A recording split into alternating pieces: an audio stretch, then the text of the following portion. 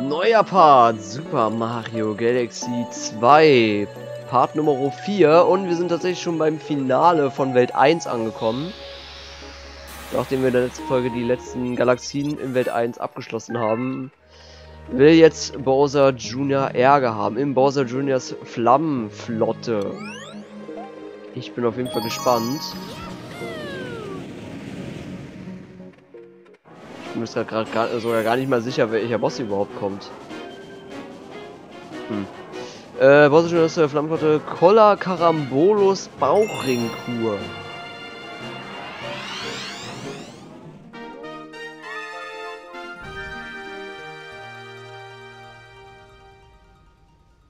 Ohne Shit, äh, ohne Scherz ist, ich, ich bin mir jetzt gerade gar nicht sicher.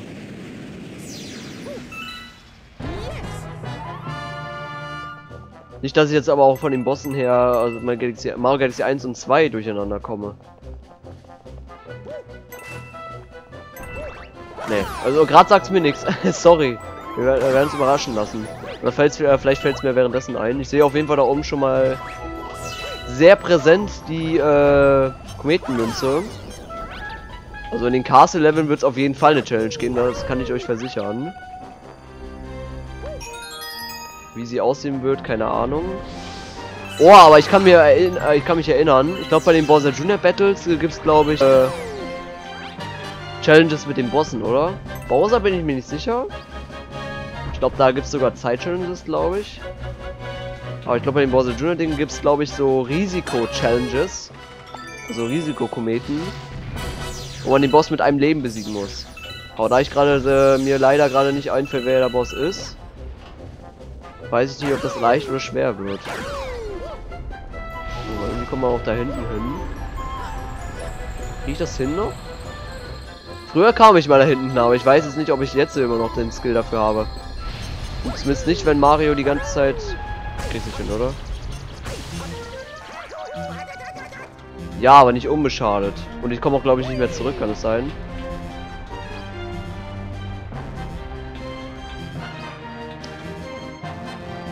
Kamera will auch nicht. Ja. Hat sich nicht gelohnt, würde ich sagen. Rap. Ah, ich hätte sogar fast wieder zurückgeschafft, weil ich hier auf einer Erhöhung bin. Da bin ich weiter gesprungen. Aber leider hat es nicht ganz gereicht. Ja gut, weiß ich schon mal Bescheid. Müssen wir das immerhin. Wir hätten noch wesentlich was hinpacken können. Irgendwie One-Up oder so. Oder Münzen, damit noch wenigstens wieder Leben wieder zurückkommt. Oder es ist wirklich so und äh, man soll da gar nicht hin. Das kann natürlich auch sein. Hm. Naja. Weiß ich nicht. Auf bin ich da mal hingekommen. Beziehungsweise jetzt mal hingekommen wieder. Und haben festgestellt, dass es nichts bringt cool. Also sind da wirklich nur wirklich diese Sternteile präsent, die man auch so einsammeln kann. Also Knochen nervt nicht.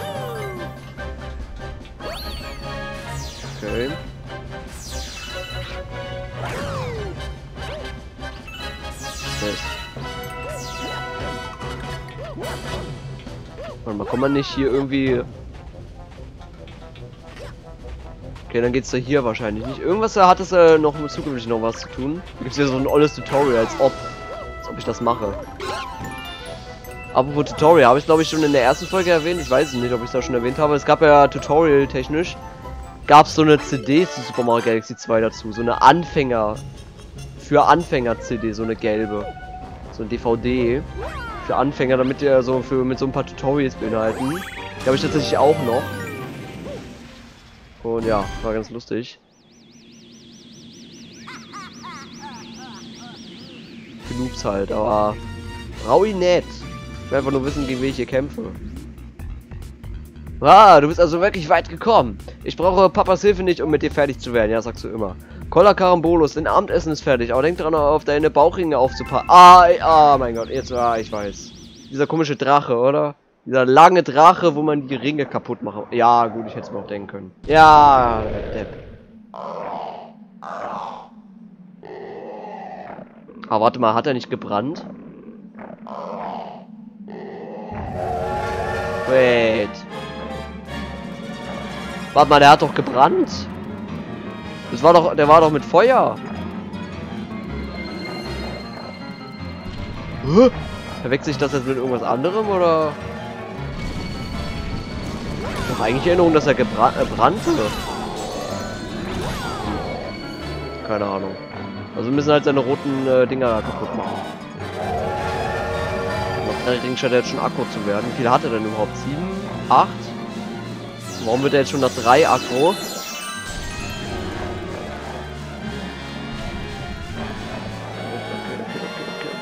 Kann man nicht sogar hier oben hier irgendwie? Ja. Aber, aber man dürfte nicht, so, äh, nicht so viel ris riskieren. Vor allem ist noch die normale Challenge. Ich bin mir sicher, mit dem gibt es äh, eine Ein-Leben-Challenge, ein Risikokomet. Müssen wir jetzt schon ein bisschen üben. Ich glaube, die Kometen werden zwar... Soll ich dem ausweichen, bitte? Okay, noch zwei. Was zum Teufel? Ah, nein! Alter, wie schlecht bin ich! Kill ihn doch! Ist doch nur noch einer! Ich bin gerade echt schlecht, ey. Meine Verhältnisse. Weil ich dachte doch wirklich, dass er eigentlich brannte. Ich bin mir ziemlich sicher. Oder verwechsel ich wahrscheinlich einfach irgendwas. Hm. Ja gut. Richtig kacke angestellt, aber eigentlich ist er mega einfach. Weil ihn da nicht brennt. Ist so ein feuriger. Ja, gut, okay, stimmt. Dann habe ich jetzt wahrscheinlich irgendwas gespoilert. Ich glaube, das ist irgendwann eine Challenge oder so. Ich glaube sogar erst in der Spezialwelt oder irgend sowas. Nächster Spoiler, geiler Scheiß. Für die es wussten, gibt eine Spezialwelt. Jetzt wisst ihr es eh. Kann ich so ruhig sagen. Und die wird richtig, richtig, richtig leiden. Darauf freue ich mich überhaupt nicht. 1 hat er, hat ja nicht so viel gehabt. Nichts mit Bonuswelt oder Hardcore-Shit. Da kann man höchstens das Spiel nochmal mit Luigi durchspielen. Das war ein bisschen schwieriger, erst recht die Scha äh, Schattenkometen, meiner Meinung nach. Und ja, hier gibt es eine übelst krasse Special World mit einem richtig krassen finalen Level. Also erst recht die letzte letzte Challenge gilt eins als der schwersten Challenges in, in aller Zeiten im Mario. Uh, gibt es einige, die sagen, das ist eins der schwierigsten, äh, äh, die es überhaupt gab. Und darauf können wir uns freuen. Aber das ist noch lange hin. Das ist noch lange hin. Wir sind ja gerade mal mit Eld 1 fertig. Mit dem großen Stern haben wir ein Portal geöffnet, mit dem wir in die nächste Welt reisen können.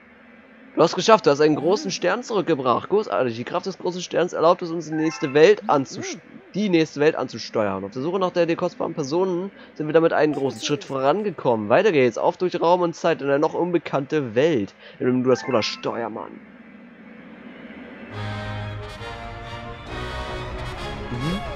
Alle Mann festhalten, die hier auf dem Schiff sich befinden. Beziehungsweise jetzt sind sie alle kurz verschwunden. Sind wahrscheinlich reingegangen. Besser so. Würde es nämlich ein bisschen ruckeln. Ruckel, ruckel, ruckel.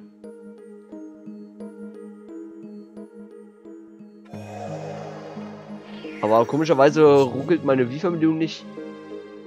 Aber Rumble kann man doch gar nicht abschalten, oder? Kann man Rumble abschalten? Und wenn, dann habe ich es nicht abgeschaltet. Ich weiß auch nicht, warum jetzt keine Ruckel, Ruckel von der Wii-Verbindung kam. Wow, seht ihr das mal an, eine komplett neue Welt. Es gibt hier vermutlich eine Menge weiterer Powersterne. Volle Kraft voraus, du, bestimmst ihn kurz. Soll das ein Witz sein? Ich kann nur, ich, ich, ich kann nichts bestimmen. Es gibt nur eine Galaxie, die ich machen kann. Kann, ist nichts mitbestimmen. Gut, da vorne wieder, aber hier... Ja, ich würde sagen, nach langer Überlegung entscheiden wir uns für die Puzzleplanken-Galaxie, oder? Nach langer und harter Überlegung. Und nach harter Überlegung würde ich sagen, nehmen wir diesen Stern, weil... Ja. Zurück äh, spricht mich irgendwie nicht so an, keine Ahnung. Der Titel ist ein bisschen scheiße. Zurück. Nee, keine Ahnung. Bild ist äh, das Bild des Bilder, Geheimnis des Bilderreds. Das ist noch schon viel besser.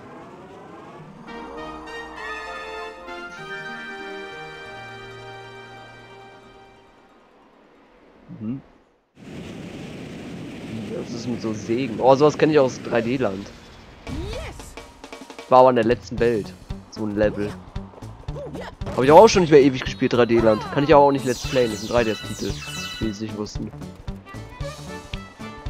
Aber cool, ich habe so sehr viel Spaß gehabt, beziehungsweise war das sogar ein Game, was ich übelst, äh, dem ich übelst entgegengefiebert habe. Ich wollte es immer spielen. Habe ja anfangs nicht ein 3DS gehabt. Hat ewig gedauert, bis ich einen hatte. Und äh, als ich es gehabt habe, äh, wollte ich es immer spielen. Immer wenn irgendein Freund ein 3DS hatte, habe ich immer nachgefragt, wenn er 3D gelernt hatte, ob ich das spielen darf. Immer.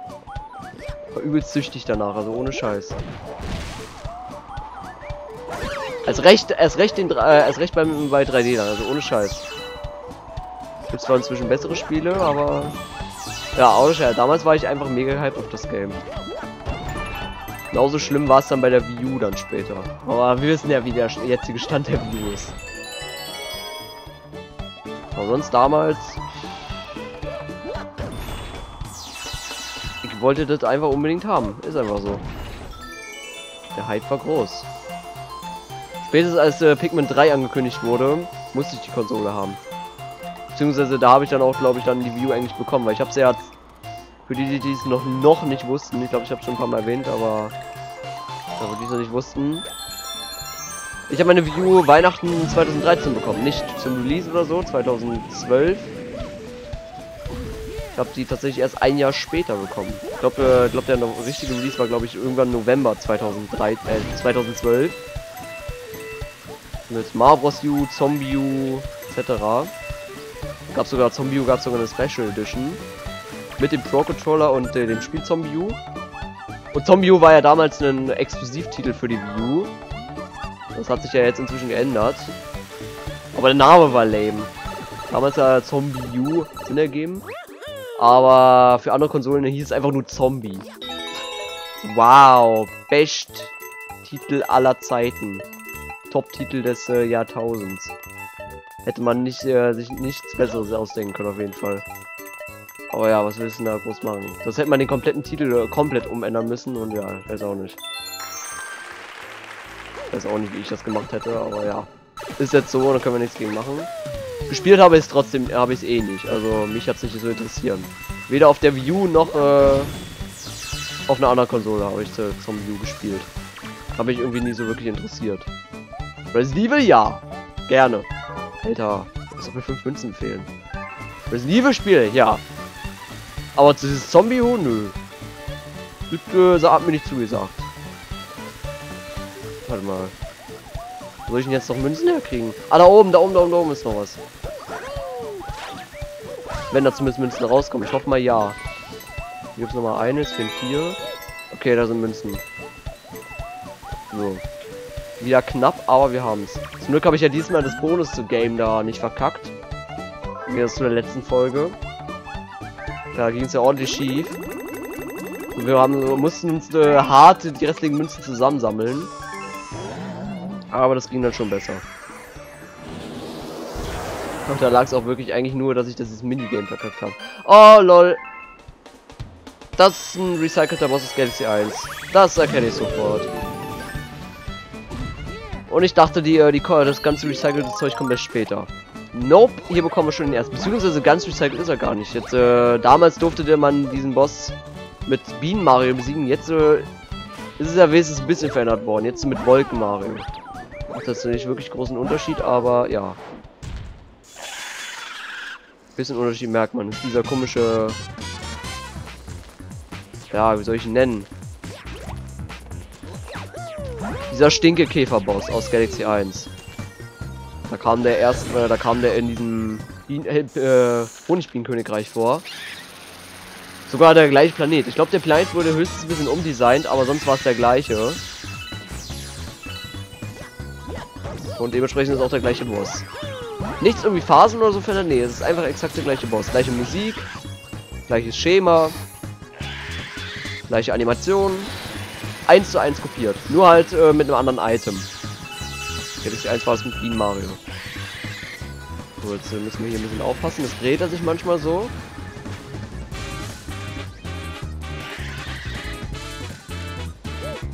So, jetzt haben wir die Chance. Hat drei Leben. Down. Cooler Boss in Galaxy 1 gewesen, aber ja, hier halt ein recycelter Boss. Traurig, aber trotzdem noch cool. Und komplett eins zu eins übernommen wurde er, wie gesagt, nicht. Zumindest vom Item her. Gibt's da jetzt nicht so ein wirklich anderes Feeling, gibt's jetzt auch nicht, aber ja. Ach komm, der ist 1 zu 1 kopiert. Leck mich am Arsch. Scheiß auf das Item, ist 1 zu 1 kopiert, fertig. Das Item macht jetzt nicht so wirklich Unterschiede. Gebe ich dazu. So, jetzt wird's aber interessant. Jetzt kann man zweimal. Nee, stimmt, haben wir noch nicht. Jetzt kann man zwei Galaxy äh, Galaxien auswählen, aber erstmal müssen wir noch den ersten Stern bekommen. Das war ja ein Secret Star wieder. Das, während unterwegs warst, habe ich die Galaxiekarte ein wenig verändert. Äh, äh, schau sie da immer an. Achso, jetzt haben wir die Weltenkarte. Was willst du denn jetzt noch? Was? Hast du diesen Tod gesehen? Aber äh, brabbelt die ganze Zeit irgendwas von Post und Briefe vor sich hin. Ach lol, der ist aus Galaxy 1, ja. Da kriegst du manchmal Post vom Peach. Geh mal rüber und sprich ihn an, dann äh, hat das Gegrummel endlich, äh, Gemurmel endlich ein Ende. Kriegt man manchmal Post vom Peach und dann kriegt man ein paar One-Ups spendiert. Oder kriegt man das nicht eigentlich, wenn man das Spiel startet, oder ist das trotzdem? Mario, ich habe meine Stimmung gefunden. Ich bin an dem Brieftaut. Ich stelle Leuten Briefe zu. Hast du nicht in Mario Galaxy 1 schon gemacht? Achso, das stimmt. Es ist ja eine Parallelwelt. Entschuldigung. Es ist nicht klasse und stell dir vor, der erste Brief ist für dich. Natürlich, vom Peach. Wer hätte es auch anders sein können. Lieber Mario, ich bin gerade sehr weit weg von dir, aber es geht mir gut. Ich hoffe, dass wir uns schon bald wiedersehen. PS, diesen Brief lege ich etwas bei, das du nicht gebrauchen kannst. One-Ups, deine Peach. Aber ist die Frage, wie viele. Wenn man das Spiel neu startet, dann gibt es fünf. Aber jetzt so? Auch fünf? In diesem Brief lag äh, ein Einwohnerpilz dabei. Selbst in Geschafenschaft ist die Prinzessin noch wunderbar fürsorglich. Wie rührend. Also bis zum nächsten Mal. Wow, jetzt speist sie mich mit Einwohner ab. Toll. Richtig geil. Da lohnt sich es doch gleich, die zu retten, oder? Aber ich habe es ja schon am Anfang gesagt, in der ersten Folge. Oh, so, das ist die Weltenkarte. Ich habe schon in der ersten Folge gesagt, ich bin nicht hier, um die Prinzessin zu retten, ich bin äh, hier, um in Nostalgie zu schwelgen und die Gal Galaxien durchzuspielen mit euch. Das ist mein wirklich eigentlicher Grund für das Let's Play.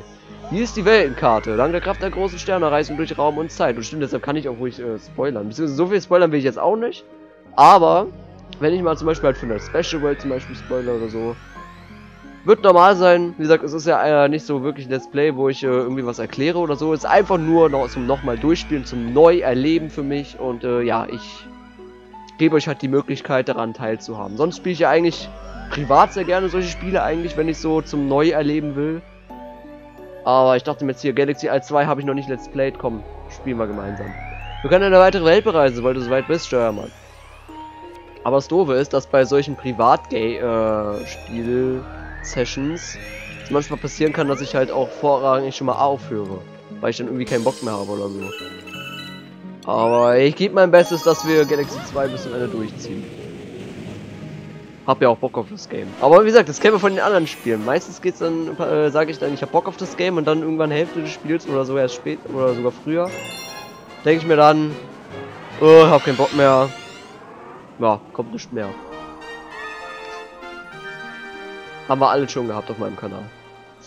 Also recht, eigentlich habe ich ja gesagt, ich wollte Xenoblade jetzt äh, nur aufnehmen noch auf meinem Kanal. Und was passiert? Mario Kart, Splatoon ist wieder zurück. Galaxy kommt jetzt. Äh, so noch. Shantae, Spongebob. Gut, okay, von dem wusste ich, dass ich eine Folge aufnehme, aber irgendwie Spongebob wird irgendwie gebockt und äh, er ist recht schande, also ohne Scheiß. Spongebob habe ich ja bislang nur eine Folge. Du willst auch mit Sicherheit sogar eventuell sogar ein bisschen warten, bis ich damit weitermache. Aber Shante wollte ich eigentlich nur ein paar Folgen machen, ein, zwei oder so, oder drei. Und äh, ja, jetzt sind wir schon fast durch mit dem Game, so wie ich das Gefühl habe. Aber jetzt ist mir auch äh, so ein bisschen die Lust vergangen. Jetzt äh, packe ich andere Projekte raus. Anstatt mit Galaxy, äh, anstatt mit Xenoblade weiterzumachen, ne? Ah finde immer irgendwie, irgendwie einen Grund oder sowas anderes zu spielen. Aber ich habe es ja schon des Öfteren gesagt, auf meinem Kanal geht es darum, worauf ich Bock habe. Wird das gespielt, was worauf ich Bock habe. Das ist mir sogar manchmal egal, ob das jetzt Play zu Ende ist oder nicht. es gibt ja einige Projekte, die äh, wegen Bocklosigkeit äh, abgebrochen wurden.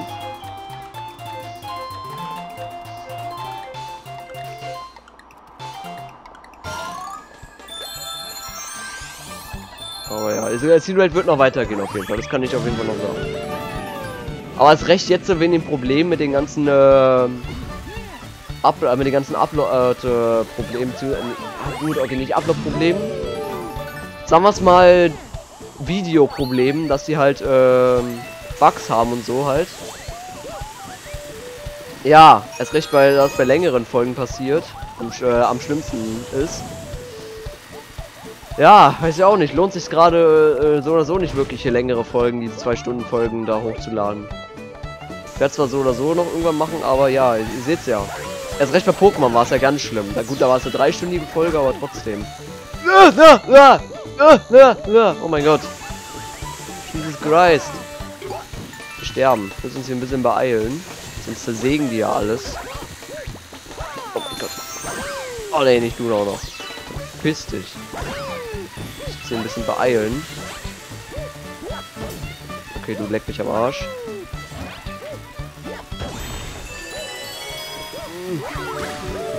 Okay. Was ist denn du hier? Ist da vorne ein Boss? Hä? Was will denn der hier?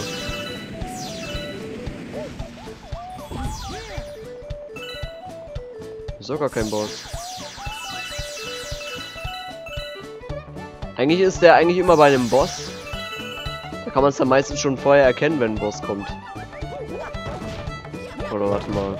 Warte mal, ich will. Äh, warte mal, machen wir mal kurz das Puzzle zu Ende. Ich glaube, ich weiß schon, was kommt. Vor allem von dem Bild her.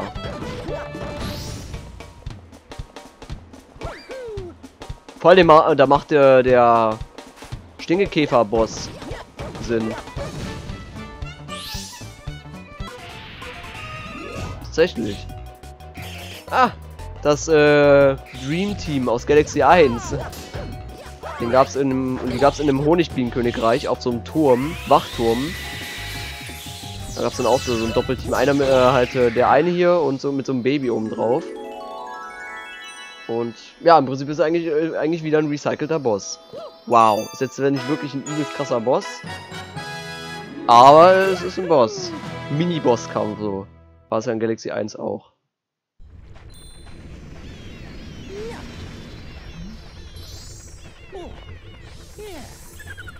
Hat zwar hat auch, aber auch nur zwei Leben, der. Also wirklich ist nur so ein kleiner Mini-Zwischenboss. Mini-Zwischenboss. Ah. So.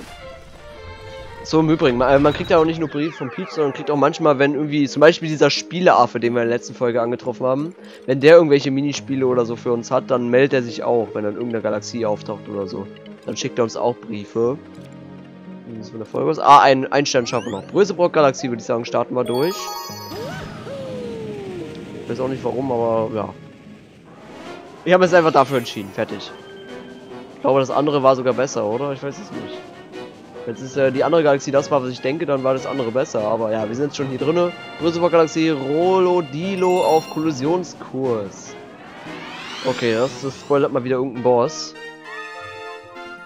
Und ich glaube sogar ein neues Item. Ja, tatsächlich. Fels Mario. Neues Item aus Mario Galaxy 2. Nice.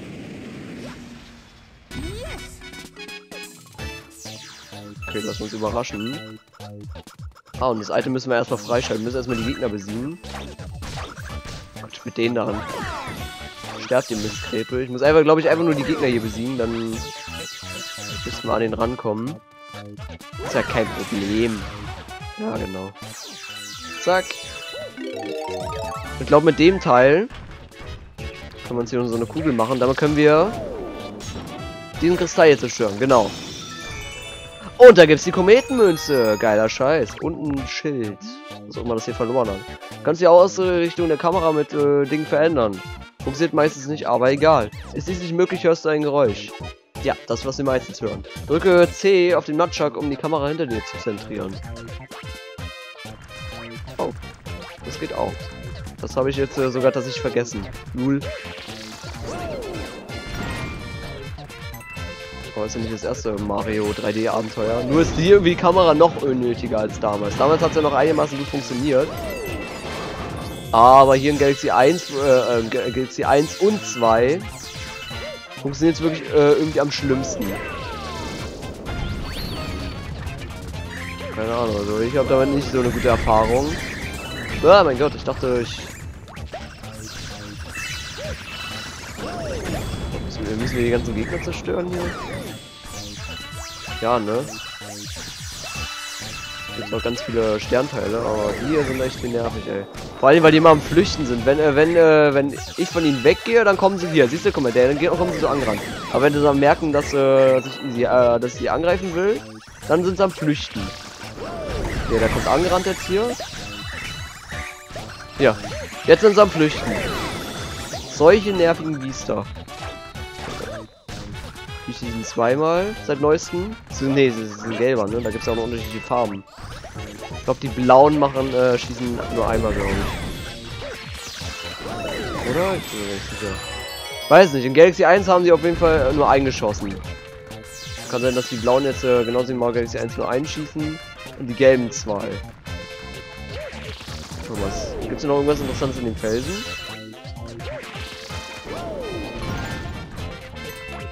Nicht, ne?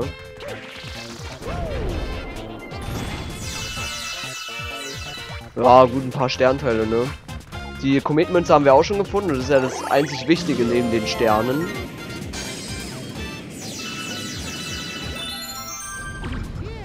Oh ja, es gibt immer überhaupt irgendwas zu sammeln, ne? In Galaxy 1 gab es äh, gab's nichts, was man in den Leveln finden musste, in den Galaxien. Aber bislang haben wir es auch immer so, dass die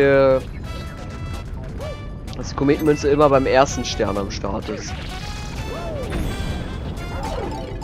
Oh, oh mein Gott. Okay, von den Ketten und die Ketten kann ich nicht ownen. Okay, gut, die sind auch größer. Die sind auch wirklich größer. Oh, warte mal, ich kann mich gerade hier an was erinnern. Gab es nicht irgendwo so einen goldenen Robo, der einen Gumba haben wollte?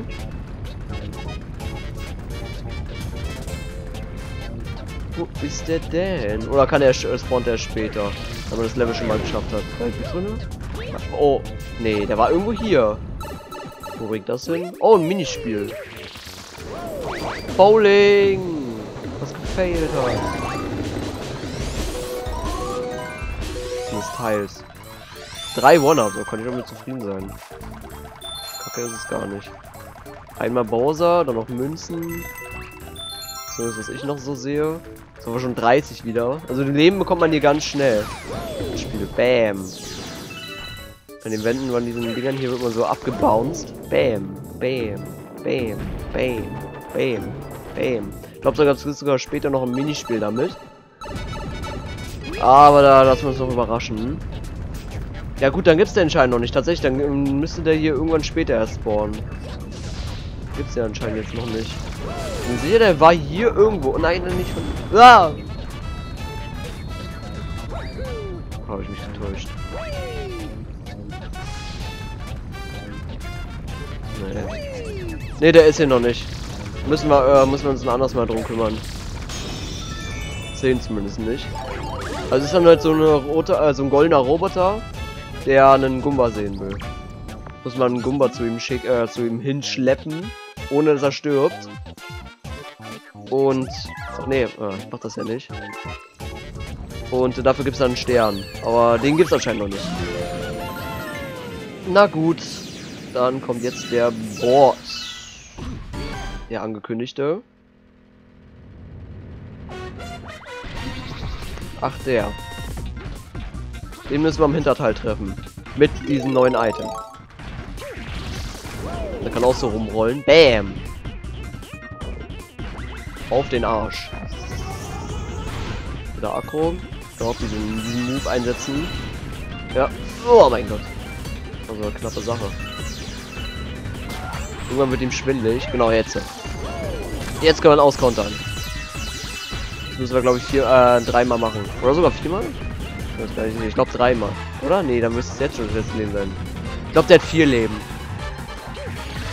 Ich glaube, der hatte vier Leben. Ja, der hatte vier Leben.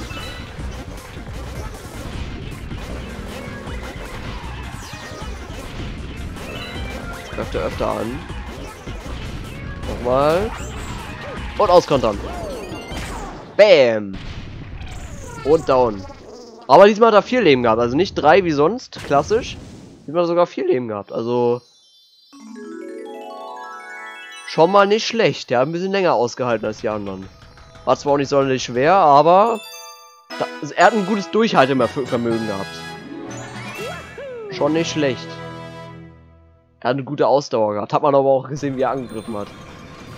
Das recht gegen Ende hat er ganz schön, schön übelst äh, ausgerastet. Nicht schlecht. Aber einfach war. Sehr einfach. Aber gut, es wäre jetzt weiter. Ist es nicht wirklich schwer. Und im Prinzip kann ich auch schon mal sagen, im Prinzip ist das ganze Spiel nicht wirklich schwer. Nur die letzte Special World. Die ist eigentlich äh, nur eigentlich nur ziemlich schwer. Der Rest, äh, das der Rest des normalen Spiels ist eigentlich eigentlich alles ziemlich einfach. Gibt zwar auch ein paar Ausnahmen, aber nur ganz, ganz seltene. Sonst ist es eigentlich ziemlich, äh, das ist ziemlich einfach. Sonst ist halt nur die Special World. Da die ist ganz, ganz, ganz übel. Und das recht das letzte finale Level. Das zackt richtig. Also da könnt ihr euch äh, auf, mit Sicherheit auf ordentlich Rage freuen.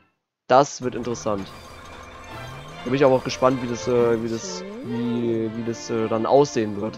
Wie ich da am Ende rumragen wird. Weil das letzte Level ist echt nicht einfach. Das wird interesting. Oh, du hast äh, einen Felsen mitgebracht. Klasse, hast es drauf. Der ist auch nicht so ganz begeistert, glaube ich. Also beziehungsweise ist er, ist er nicht begeistert. Das Item ist ja geil, aber es bringt hier unten halt einfach nichts. Es ist halt nur so zum, zum Sammeln. Zum Sammeln und Spielen. Beziehungsweise zum Spielen darf ich ja nicht mal. Es hängt einfach nur rum. Es ist wirklich, wirklich nur zum Sammeln und Anschauen. Ganz genau, ich frage mich ernsthaft, wofür wir diesen ganzen Krempel hier sammeln. Ja, das habe ich gerade eben auch erwähnt. Das bringt einfach wirklich nichts. Huch.